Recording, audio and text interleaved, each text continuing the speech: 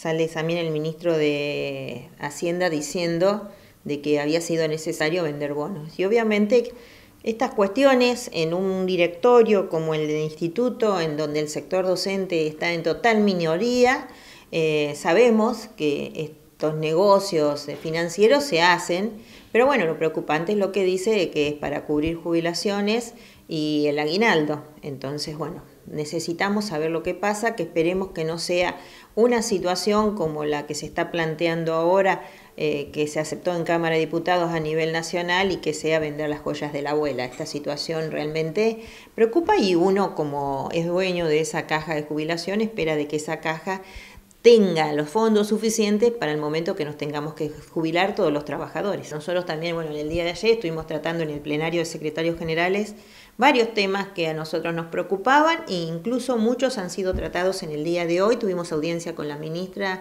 el, después del receso invernal vamos a tener incluso la paritaria, vamos a estar trabajando, seguir trabajando este tema.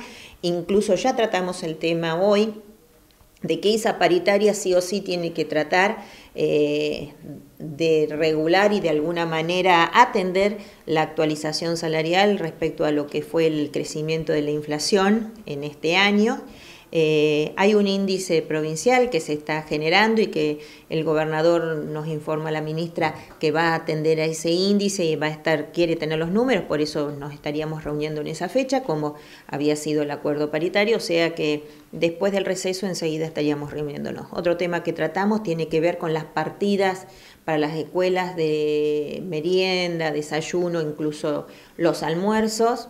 Eh, nos dio un informe en donde se aumentaron las partidas, pero además si hubiera alguna necesidad específica, que las directoras y directores no se queden sin hacer el reclamo y se están atendiendo todos los reclamos. Con respecto al aumento del bono del SEMPRE, ¿hay alguna opinión formada desde el, desde el gremio?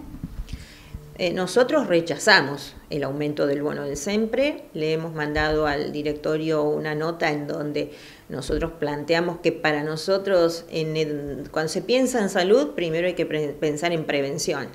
Si quien planifica políticas públicas integrales no planifica para la prevención, realmente nos preocupa. Hay otra cuestión, ¿cuántas veces por un resfrío, una situación que es un tanto incómoda, antes de estar pagando 30 pesos en el bono, ir al médico y demás, se genera la automedicación, cuestión por la cual nosotros también estamos en contra.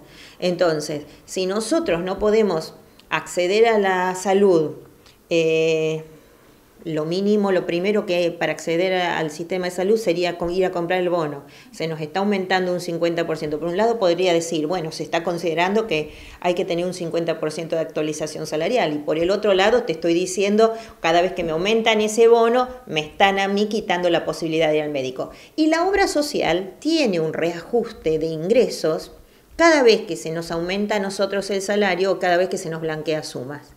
O sea que el bono no es lo que va a mejorar la obra social. La obra social se mejora desde otros lados, planificando de otra manera y realmente los que somos los dueños de la obra social, los actores trabajadores, poder estar opinando.